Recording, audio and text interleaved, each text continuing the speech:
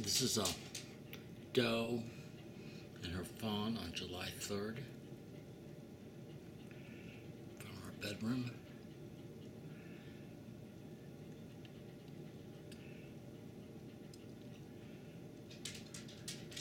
Baby could have been in our garden earlier, we're not sure. We think it's the same baby.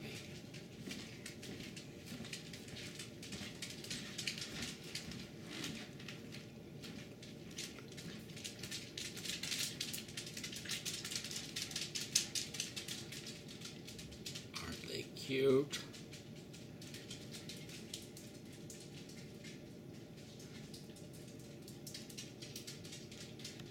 Baby's on the move here.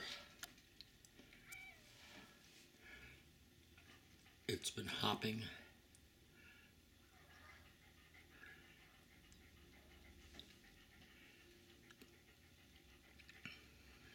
Oh, look at how alert they are. Mm-hmm. Look at those ears.